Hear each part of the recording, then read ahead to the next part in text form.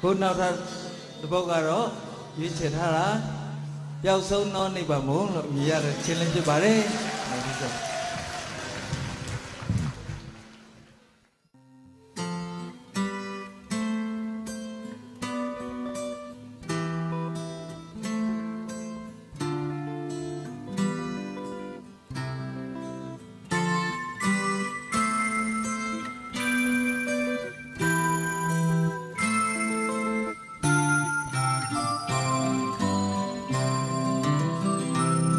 ငယ်စဉ်ကကလေးတို့ဘဝမှာပျော်ပါဖို့များလွယ်ပါတယ်ကိုရတာနဲ့တင်းတိမ်ရောက်ရဲ့စာချိန် မှာဝင်စားမယ်အိတ်ချိန်မှာ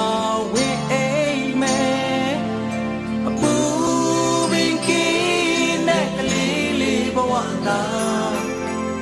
တခါပြန်ပြီးရခြင်းသေးတယ်အပြစ်မသိသေးတဲ့ကလေးလေးဘဝကိုတခါပြန်ပြီးရောက်ချ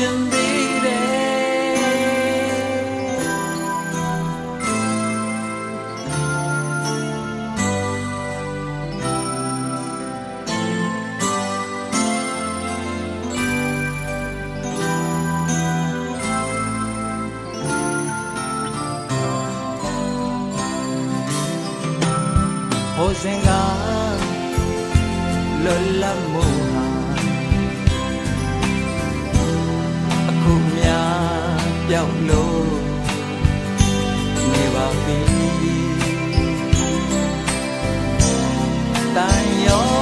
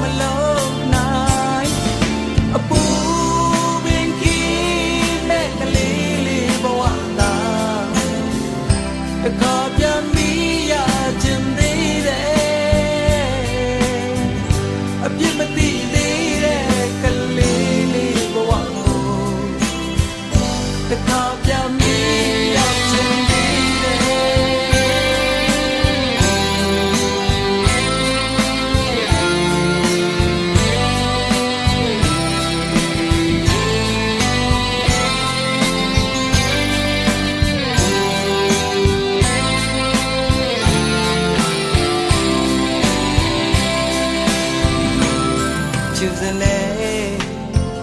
နှလုံးသားလေးဟာအယောင်အမြ